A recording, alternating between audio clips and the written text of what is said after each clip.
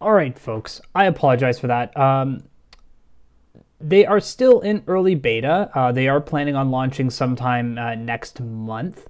Uh, however, um, due to a very, very long stream and um, kind of taking a lot of different um, assets into consideration and really pushing this this product to uh, its limits, I suppose, as far as all the different assets and how they're interacting. Um, I did lose the stream for that. I apologize.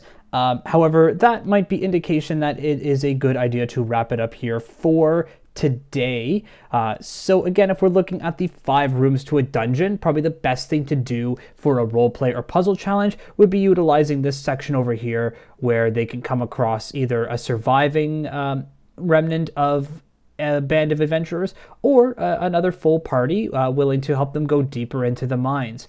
But one thing that I will do before we finish up for today is going to be.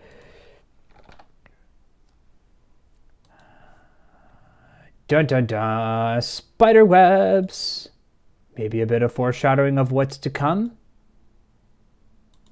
Who knows? You guys are going to have to tune in next time to see exactly where we're going from here. But uh, thank you very much for tuning in, uh, those who uh, stuck around with me. And for those of you who are watching after the stream is finished, hopefully this will inspire you to take uh, a look at this program in a little bit more depth. And uh, again, this map is already public. I am able to edit it on my dashboard and, and keep it public. So please uh, take a look at it. Uh, send me some links uh, through my Facebook page and uh, all that uh, fun stuff. Let me know what you guys are up to. And again, just as a reminder for everybody, I will be putting up Compounded this coming Saturday at 8 o'clock.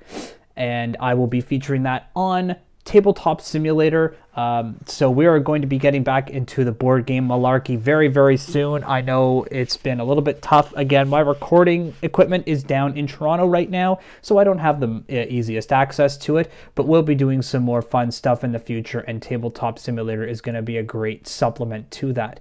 So thank you very much for watching, and we will see you all in the dungeon or at the table next time.